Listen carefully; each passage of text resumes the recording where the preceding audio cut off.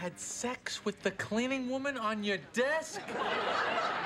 Who are you? How did you do that?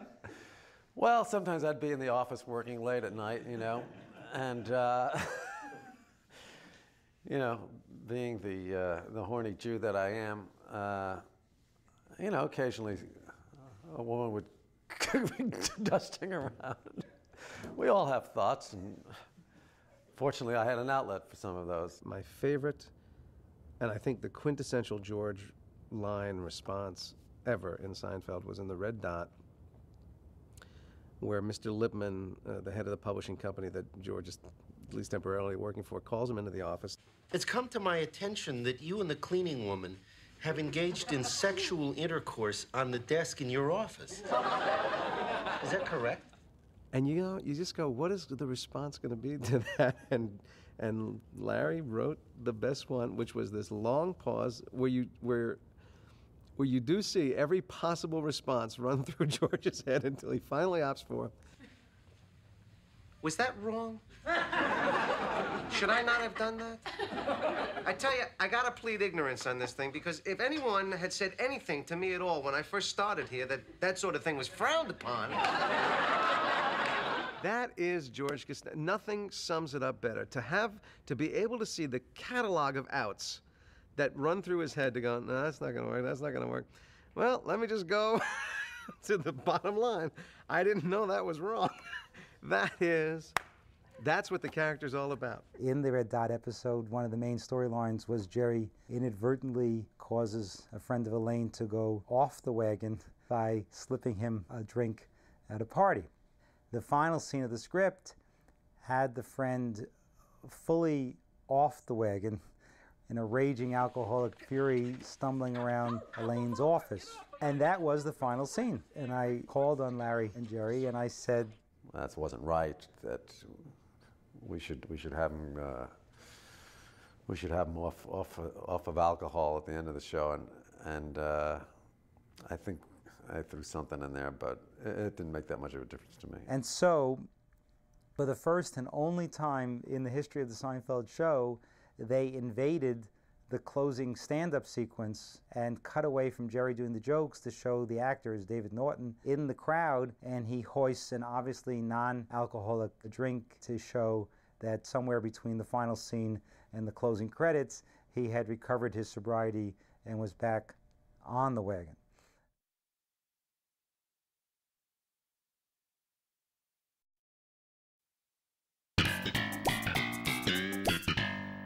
The first time uh, we heard that he, the name Newman on the show was in the uh, second season where a character in the building called Newman uh, was referred to. I think he called Kramer on the phone and he was going to commit suicide, and, and Kramer told him to jump.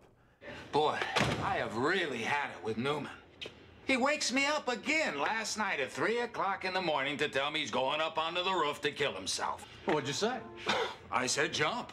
And the following season, we did a show where I guess we needed a, a, a, friend for Kramer, somebody in the building, and we'd already heard this name Newman before, so let's see, let's use this guy, let's use the same guy. We've already introduced him. So um, we had a casting session for this character, Newman, and then uh, Wayne Knight came in. And I was excited about that audition because I had, uh, I was a fan of the show and uh, and thought, well, here's a shot at getting on something that's actually good. And you just you know it when you see it. It does. You, you know in about five seconds when somebody's right for something. And man, he was he was just terrific. I thought we thought it might disturb Kramer's mystique if you actually saw any friends of his. We wanted him to be kind of, uh, you know, an, an island unto himself. But uh, obviously, Wayne was such a perfect uh, uh, compadre and, and counterpoint to him. There was no expectation of, uh, of, of Newman being a recurring character. Uh, this was strictly a one off shot, as far as I knew. Uh, and at the time, the formulation of Newman was, was different than it, than it became. Newman was going to be the, uh, the son of the landlord and the building snitch. You should just eat fruit. Can't eat fruit, it makes me incontinent. Why don't you eat it over here? Hello, Gina. Hello, Jerry. Oh, Newman. That was the purpose that was being served in that first episode because he had seen Jerry uh, making out with uh, his friend's girlfriend who was in a coma. How's he doing? Uh, he looks happy to me. I hope he stays this happy when he wakes up. Why wouldn't he? No reason. He'll have a lot of catching up to do, I guess. I'll bring him up to date. I know that Larry and Jerry appreciate good characters. Heck, they're from New York, and you see the best characters on the street there.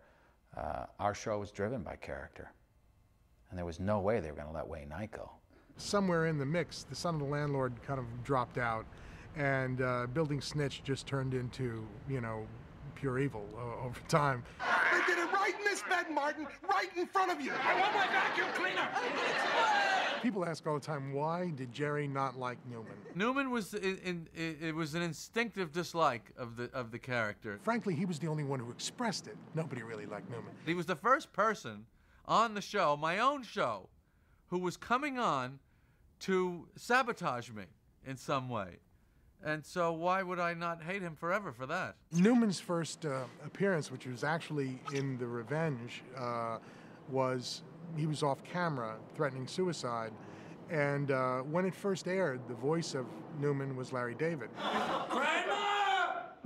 That's Newman. I'm on the road! Once I got the part, Larry, being a, a stickler for detail, said that when we go to syndication, I'm going to have you record this so that it'll be Alpha Omega you, and that there will never be a time that you weren't Newman. And um, I, you know, I was very glad uh, to do that uh, for scale. Anyway, uh,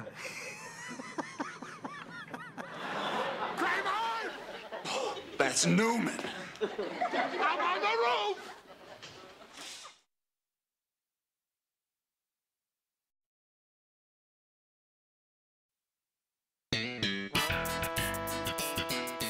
Subway episode, I was very much interested in could you could you tell a story that totally took place on the subway? It seemed like an urban New York kind of a story. Could it was there an audacious way of sort of tackling that problem? It was actually a hard week for us because we really, the four of us, didn't see each other. We had nothing to do with it. We had one scene in the beginning and one scene at the end. My storyline was to be I was going to a lesbian wedding, which is uh, which was really risque then. Imagine what it is today with all this controversy. It's a, a lesbian wedding. Lesbian wedding? Uh huh. Yep. Yep. I'm the um, the best man. My first and foremost memory of doing that was that I was um, newly pregnant and sick as a dog. And I was fighting nausea the entire episode. So any disgruntlement you saw on the subway was purely uh, hormonal induced nausea. The subway episode was interesting. We had to get a subway, and we didn't want to build one, it would be quite expensive. But Warner Brothers had one from some movie they had done, and we rented that. But it was really a bummer to get here. It was in lots of pieces. It had to be put on a platform. It had to be rigged to rock. We put it up on springs and put some two by fours under it, and the grips stand there and shake it up and down. And then all of the actors and extras on the subway were choreographed to move backwards or forwards when the subway started or stopped. To make it look like several cars, we kept on redressing it, shooting separate little sections of it. It's amazing a little space could look so large. And you'll notice in most of the shows that a lot of it is done in close up two shots, three shots. So you can get away with a lot. It's just that one second or two seconds that you ever see a master or, or a wide shot that sells the whole idea of where you are, of course. Well, after the subway show, when it was sent back to Warner Brothers, the driver went under a low underpass and destroyed the set. so CBS had to pay to rebuild that set. So I designed and we built a new New York subway car. But this time I designed it and built it on trailer beds. So all you had to do was roll it in on stage, put it together, plug it in, and you were ready to shoot. The lighting was built in, the pneumatic doors, everything was built in. It was a unit, and it worked great. It's still in use today. Features have used it. Everybody uses that subway car.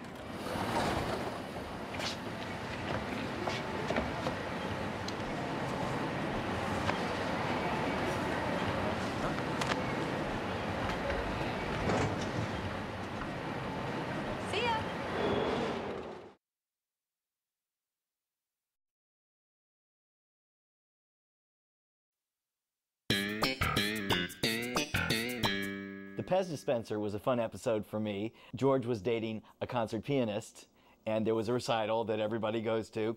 I was the pianist.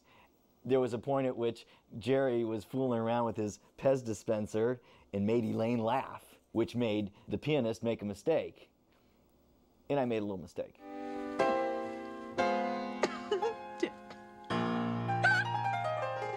Larry said, More, bigger, bigger mistake. I'm bigger mistake, bigger, bigger. Uh, in post, when I, w- I did it again, I was fooling her. Uh, finally, I said, okay, I'll, I'll go all the way. And I'm playing, and came time for the mistake. I just took my elbow and with, on the keys. And I could see through the glass Larry going,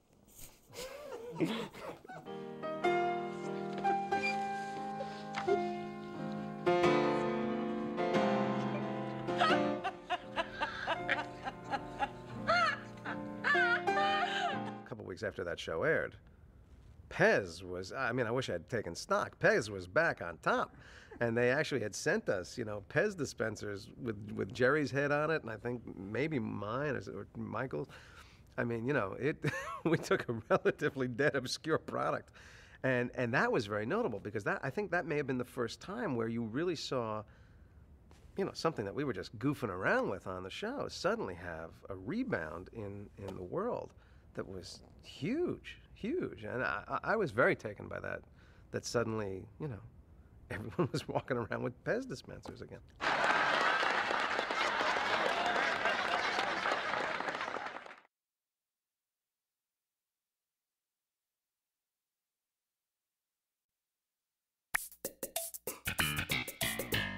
We did a show, How to Get Rid of a Guy. That was in the first season, right? Who's your friend? How do you break up with a guy? But this show was, How do you make a new friend with a guy who you've just met, who you kind of want to be friends with? It's a little awkward. Do you call him up? I mean, how does, how does that work? And I, I thought that was a really uh, funny idea. And, and, um, and so that was one of the stories. And okay, so who is this guy? Yeah, at that point, I had I had met quite a few celebrities, and I, you know, there's nothing uh, that you, you kind of after a while you, you you're not that excited uh, to meet them because you realize they're just people, most of them, and uh, but sports stars, uh, and certainly the Mets were my favorite team, and Keith Hernandez was my favorite player, and I remember the morning that he was going to be on the show, standing in my closet looking at my shirts, going, What should I wear? I'm going to meet Keith Hernandez, what should I wear? And I actually even remember feeling sweaty as I was driving to work that I was going to meet Keith Hernandez and uh, how exciting this was going to be. And it was very interesting because of, of all the principal actors, Jerry didn't was like speechless around me for, for three to three two to three days. And it was exciting. And he was great fun. And we became friends after that. Excuse me. I don't want to disturb you.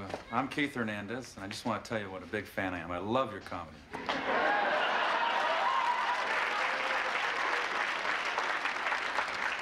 Really? Oh, yeah. I've always wanted to do what you do. Do what I do? You're one of my favorite ball players of all time. Mine too. The uh, boyfriend, uh, new friend episode was was an hour. There was just uh, too much material, and sometimes you're in that sort of netherworld where you have not enough for one show and and uh, not enough for an hour, and too much for a half hour. So you have to decide which way you want to go.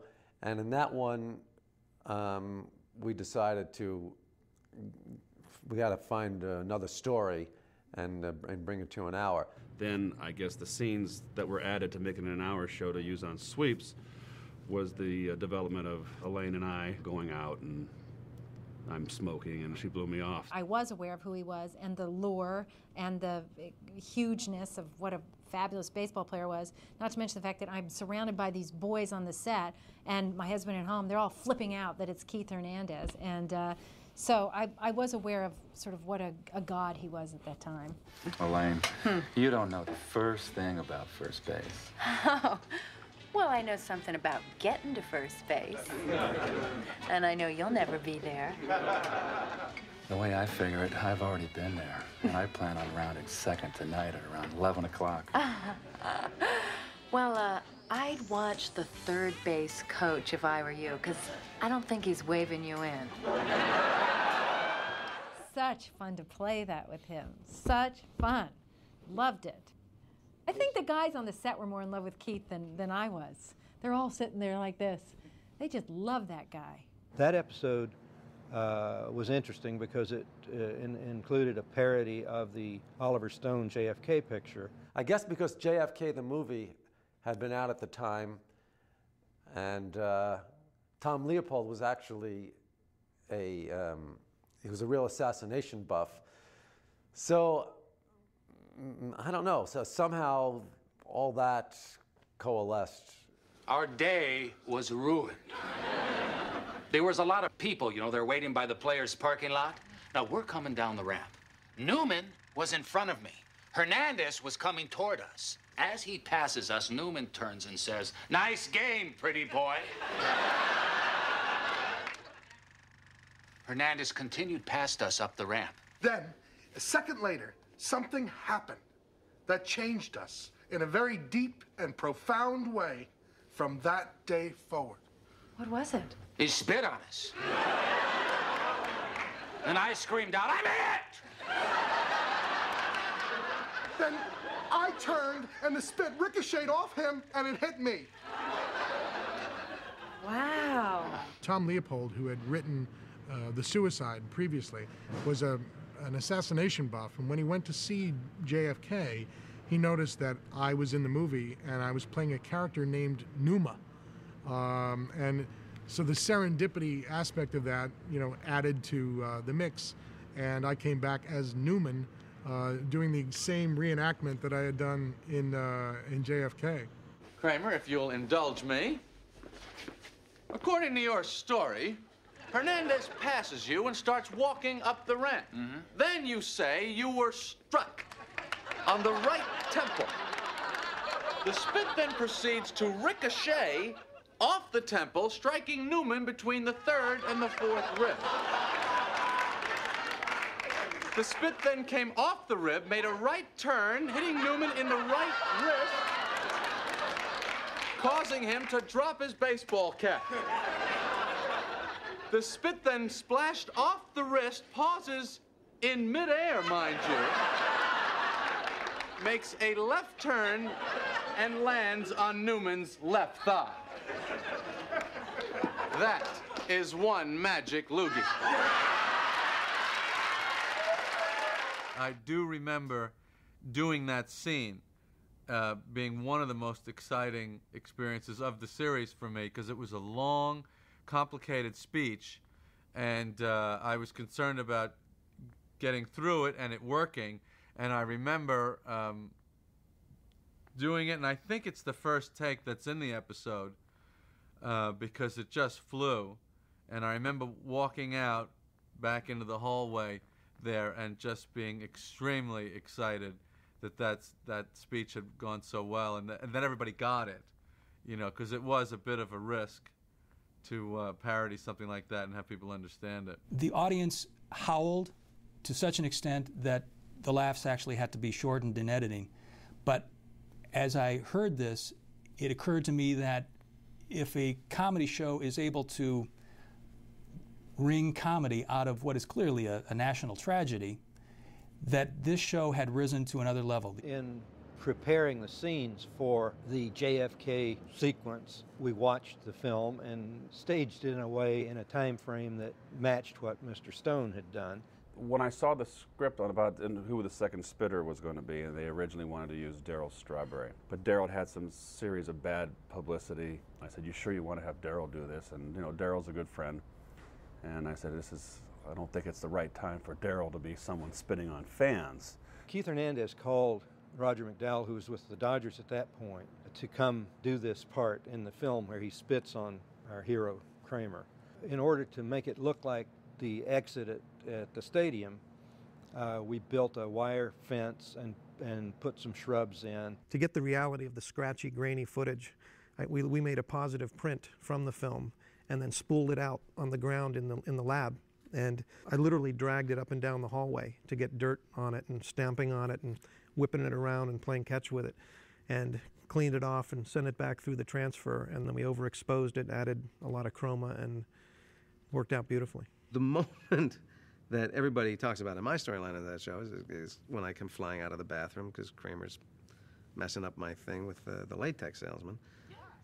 And my pants are around my knees, and it was a huge laugh, a huge audience laugh.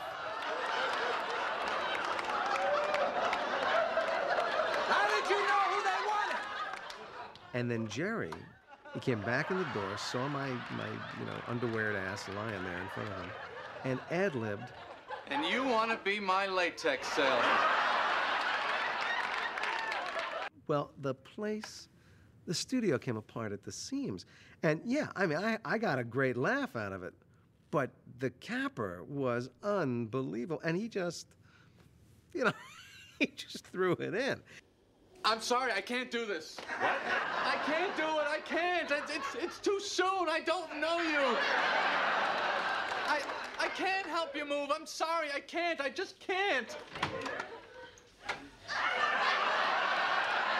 As the years have gone by now, it's the generation that didn't see me play. They don't relate to me as Keith Hernandez, baseball player. You know, they relate to me as Keith Hernandez in a Seinfeld show. And I have kids come up to me this day. They're now, what, it's been well over 10 years now. So they're, some of them in their 20s. And they'll come behind me and go, well, I, I'm not going to help you move. Or what was it like kissing Elaine? Which I always say was awful. Eight, ta- eight takes, brutal. That was the hardest part. But anyway, uh, it kind of, uh, a younger generation knows who I am because of that show, absolutely.